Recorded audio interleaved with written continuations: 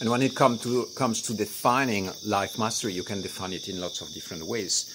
Uh, sex, body, mind, spirit. This is the vital tantra model that I designed. But you have this one as well, right? This is a polarity model. There is this uh, light coming right in there. You see that there is light and darkness, feminine and masculine. And uh, the goal is to be able to navigate from the very core of here, where there is a perfect balance of all those different qualities so this is what I call the resonance point when you are at the very center of that. And uh, somebody who is integrated, somebody who will have a good balance of these different qualities. But that's not the only thing there is. You see, there is a chakra model, so activation of all those different areas uh, spirit, head, action, uh, heart, emotion, sex, and body.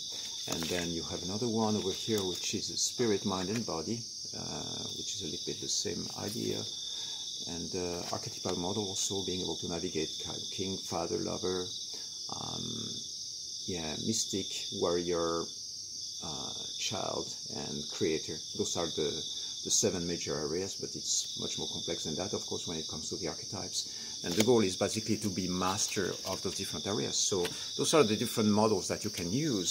And uh, I tend to go with the, the Vital Tantra model and also uh, the polarity model that inside of you you want to be integrated between light and darkness and really have those two polarities really uh, anchored in your field and uh, and also with the polarity of masculine and feminine energies inside of you.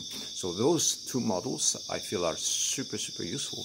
But of course, you know, um, integrating in the degrees of thoughts, emotions, um, body and feelings, and then integrating the spirit, uh, all that is the integration of, uh, yeah, the, the body, mind, spirit um, dimensions that we are really made of.